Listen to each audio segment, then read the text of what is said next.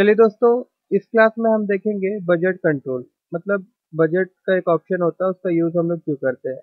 देखिए दोस्तों बजट का ऑप्शन हम लोग इसलिए यूज़ करते हैं, जैसे कि हम लोग बजट सेट कर देते किसी भी चीज़ में कि इस महीने तक हम इस पे इतना रुपया खर्चा करेंगे। तो लास्ट में क्या होता है, फिर हम लोग चेक करते हैं कि वो जो हमारा बजट हम लोग सेट किए थे, उससे ज़्यादा खर्चा हुआ है कि उससे कम खर्चा हुआ है, ठीक है?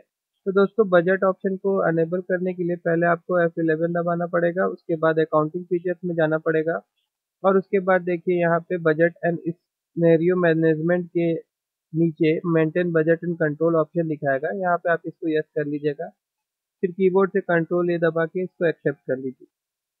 उसके बाद जब आप अकाउंट इन्फो में जाएँगे तो देखिए एक नया ऑप्शन नज़र आएगा बजट का। आप यहाँ जाइएगा, उसके बाद क्रिएट ऑप्शन आएगा। यहाँ पे आप क्रिएट करिएगा। मैं यहाँ पे ऑफ़िस के लिए एक बजट सेट करने जा रहा हूँ। उसके बाद ट्रेड में सेट करता हूँ एक चार 2016 से एक पाँच 2016 तक का। यहाँ पे मैं ग्रुप भी आप सेट कर सकते हैं, लेज़र भी आप सेट कर सकते हैं। मैं यहाँ पे लेज़र सेट कर रहा हूँ। यहाँ पे लेज़र का नाम मैं दे देता हूँ ऑफ़िस। एक्सपेंसेस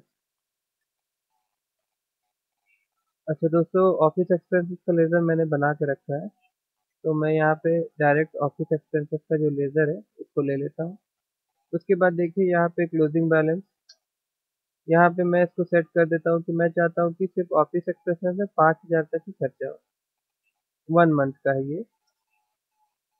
इंटर आगे भी इस तरह से आप सेट कर सकते हैं। मैं फ़िलहाल एक मंथ के ही सेट कर रहा हूँ। और दोस्तों, पीरियड आप एक साल भी सेट कर सकते हैं छः महीना का भी सेट कर सकते हैं, तीन महीना का भी सेट कर सकते हो, आपके ऊपर है। उसके बाद चलिए, यहाँ पे मैं कुछ एंट्री पास करता हूँ पेमेंट वाउचर में जाता हूँ, और ऑफ़िस एक्सपेंसेस में एक तारीख को मैं दो हज़ार रुपया, मान लीजिए मैं खर्चा कर रहा हूँ। उसके बाद फिर मैं दो तारीख को जाता हूँ, और ऑफ़िस एक्सपेंसेस में ही, मान लीजिए चार हज़ार मैं खर्चा कर रहा हूँ। ठीक है? अब देखिए, अब एक हज़ार ज़्यादा खर्चा हो गया हमारा, है ना? तो अब हम इसको देखने के लिए कहाँ जाएँगे? हम लोग जाएँगे डिस्प्ले में, अकाउंट बुक में, और उसके बाद अकाउंट बुक में जाने के बाद में यहाँ ग्रुप समरी आता है, इस ऑप्शन में जाएँगे। यहाँ पे देखिए, जो ग्रुप है, ये सब जो एक्सपेंसेस था ऑफ़िस एक्सपेंसेस उसको कहाँ बनाया जाता है? इनडायरेक्ट एक्सपेंसेस में। तो यहाँ पे हम लोग इनडायरेक्ट एक्सपेंसेस को सेलेक्ट करेंगे और उसके बाद देखिए यहाँ पे बजट वेरिएंस का ऑप्शन आएगा, यहाँ क्लिक कर लीजिएगा।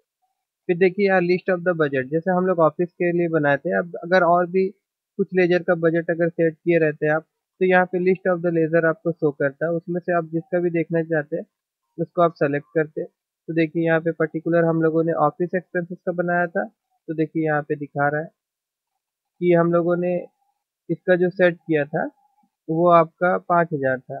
बट एक्चुअल में जो ये ऑफ़िस का हम लोगों ने जो बजट सेट किया था, ठीक है? और यहाँ पे देखिए दिखा रहा है, जो एक्चुअल खर्चा हुआ कितना हुआ? छः हज़ार। दैट मीन बीस परसेंट जो है एक्स्ट्रा खर्चा हुआ, हज़ार रुपया, वो यहाँ पे आपको डिस्प्ले कर रहा है। दोस्तों, इस प्रकार से आप देख सकते हैं कि आपने जो बजट सेट किया, उसके मुताबिक आपका जो जा रहा है खर्चा, कि उससे ज़्यादा खर्चा हो रहा है या उससे कम खर्चा हो रहा है उस, उन चीज़ों के लिए ये ऑप्शन का प्रयोग हम लोग करते हैं टैली आर लाइन में। ठीक है दोस्तों, आप तो नेक्स्ट क्लास में फिर वेट करते हैं।